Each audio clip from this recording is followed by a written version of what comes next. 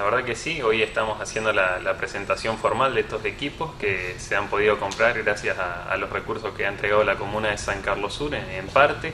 Son alrededor de 100 mil pesos perteneciente a, tasa por hectárea, un litro que se había destinado durante el año 2014. Bueno, todo ese dinero eh, se ha volcado para la compra de estos equipamientos.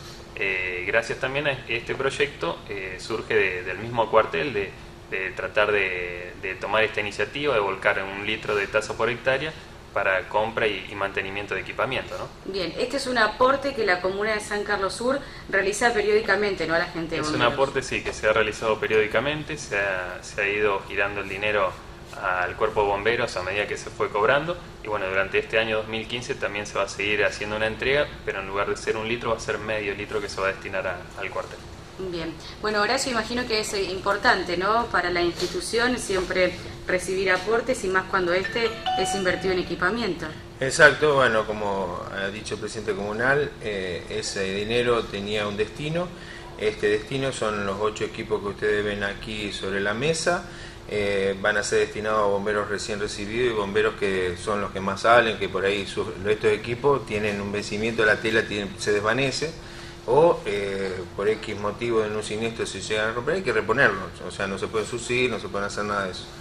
Eh, estamos muy contentos de haber eh, plasmado el proyecto que le habíamos presentado al presidente comunal en su momento. estos equipos rondan en el costo de casi 12 mil pesos cada uno, consta del pantalón y el chaquetón.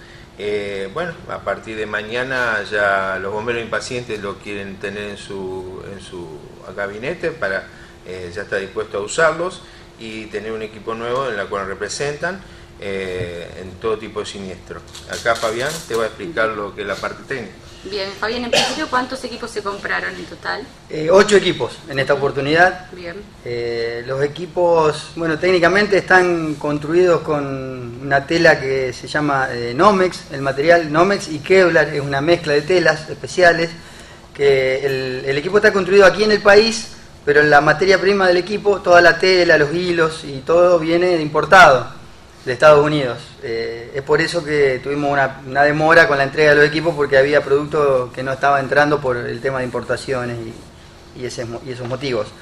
Bueno, la tela del equipo, bueno, consta con la tela de, de Nomes y Kelva por el exterior, internamente tiene una, una protección térmica que se llama barrera térmica y otra tela por detrás de esta barrera térmica que es una barrera de vapores, que se le llama, que eso hace que evite el ingreso de mm, cualquier vapor, sustancia tóxica o nociva que pueda llegar a dañar al bombero, para que no tenga contacto directo con la piel. El equipo es muy térmico, el bombero con esto sufre mucho el calor, pero el calor de su cuerpo, no el calor de la temperatura de un incendio.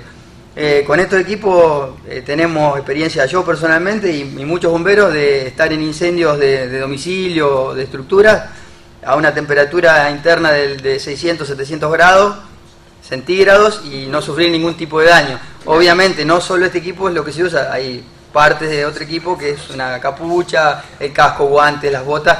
Hay que estar bien vestido y protegido porque si no el calor por cualquier parte puede entrar y, y quemarnos el cuello, las muñecas u otras partes del cuerpo. Claro, es el equipamiento que más utiliza bomberos, ¿no? Este es el equipo de protección personal básico de bomberos. Eh, lo que a veces nosotros solemos hacer cuando no tenemos incendios estructurales, que vamos a, a incendios de, de rastrojo, de campo, forestal, le sacamos la parte interna para cuidar el equipo y también para no sufrir tanto el calor porque es muy pesado y, uno transpira mucho con esto y se puede deshidratar fácilmente. Claro, pero cada bombero tiene el suyo. Eh, nosotros tenemos todos, cada uno en nuestro equipo y bueno, justamente como decía Horacio, estos equipos van a ir para reponer los más viejos y de los bomberos que más tienen salida porque eh, por ende son los que más protegidos deben estar. Claro. sin duda, el que más sale tiene que tener un equipo en mejores condiciones que el que sale muy poco.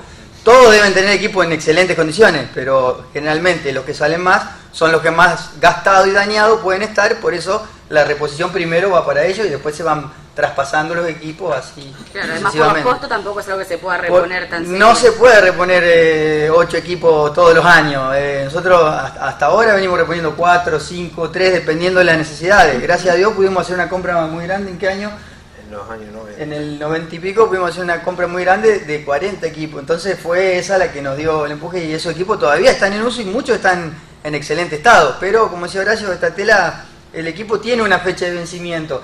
Si bien no quiere decir que el equipo quede totalmente inutilizado, se puede seguir usando, pero no da el mismo margen de protección que da cuando es nuevo. O sea, la tela va perdiendo su efectividad.